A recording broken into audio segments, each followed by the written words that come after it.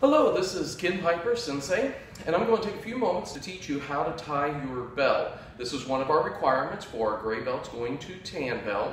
So I'm just going to take a few moments and teach you this.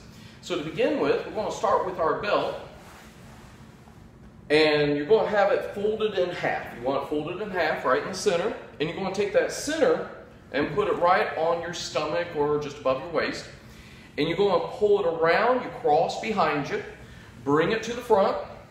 And what you do is, a lot of people say you're going to take the left over the right and the right over the left. Now, what they mean by that is you lay the right side down. See, this is my right side. I'm going to take the left one and I go over the top.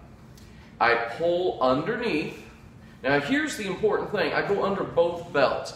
I don't just roll through the one belt, I'm actually also going under the belt that's on my stomach. A lot of students miss this, and it makes a big difference in the way the belt looks as well as actually being able to keep it tied.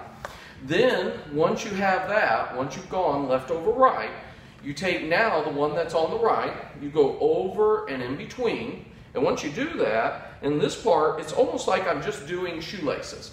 I'm just simply taking it over and I'm pulling through, and I go to yank sideways, and once I yank it sideways, there should be a little V. You should see like a V or almost looks like a U. Or I heard somebody once say it looks like a fortune cookie. I think that's a fine description. And now you know you have your belt tied right. Okay, I'm going to do it up close so that way you can see it better. So once again, you see I have the belt on the stomach. You see I just crossed it in the back, okay? So now, once again, I'm going to lay one side down. I'm going to take the left side. So I'm going to turn sideways this way so you can see this a little better.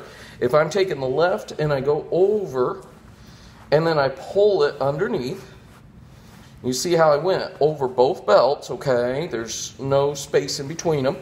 And I'm pulling them. And then from here, I take now the right one and I go over. I'm pulling it over and in between. So it just almost like I do shoelaces. And then from here, you just simply yank to the side. And once again, there should be a U or a V right here. Okay, and that's again how you know you tied your belt correctly. Um, I'm now going to do it from back here again, but I'm also going to explain it the way I like to say it in class. Okay, so once again, just to explain it in a little different way, you're here and you start with it in the center. You put that in the middle of your body and once again, you just wrap it behind you. And then what I like to say is I like to say you take one side and go over both belts. And the part that you pull through, okay, see this, this one that you pull right through is the same one that goes over the other belt and goes in between. And then when you pull it sideways, once again, you'll see that I have that same little U or V shape, okay? And that, again, is a requirement for our gray belts going to tan belts. And um, one thing that you will notice is that the instructors do wrap the belt a little differently than the way we teach the students. So I do want you to be aware of that in case you see an instructor putting their belt on or you just happen to be looking at their belt and you notice that's wrapped a little differently than the students.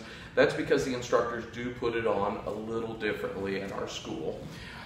Otherwise, hopefully this helps you in knowing your requirement. This is for the second black stripe.